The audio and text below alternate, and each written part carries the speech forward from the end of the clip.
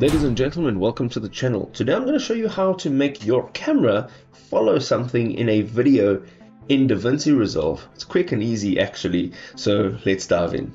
So what you're going to do is make sure that your video that you are wanting to track an object in is on your timeline and we're going to go from the edit tab right at the bottom over to the fusion tab.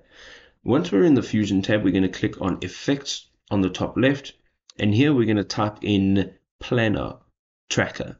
So once you've located it you're going to click on it and it will appear just over here in your nodes tab.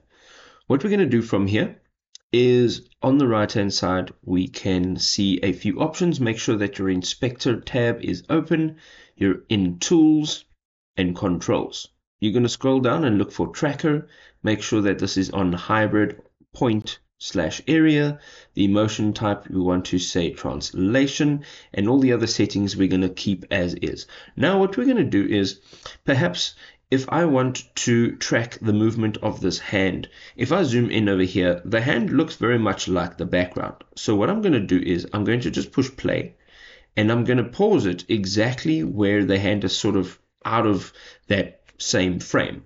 Okay, so you can also just use the keyboard and your left and right arrow just to move that sort of out of that area. This is more or less what I'm looking for.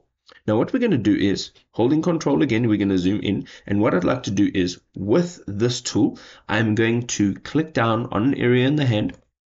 And I'm going to continue clicking so that I can track the movement of this particular piece or object within the video.